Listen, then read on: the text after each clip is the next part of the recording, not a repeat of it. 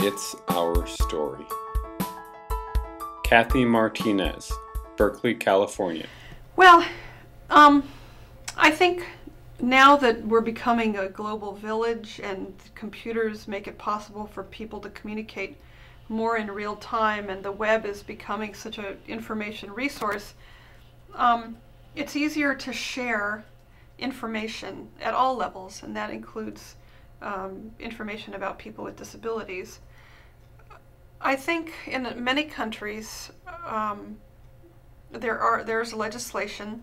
Some of it is better than others, and um, in in many countries, you know, there there's actually been um, provisions in their constitutions which require that people with disabilities be included at all levels of the governmental structure and in governance processes.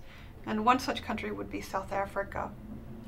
Um, the concept of independent living, I think, varies from culture to culture. And some people don't like the word independent living.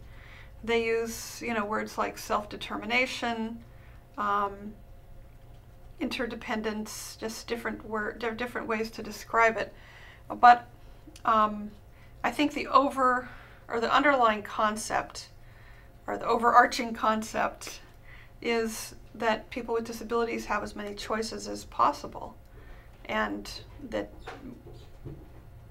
they can make decisions um, based on acceptable options.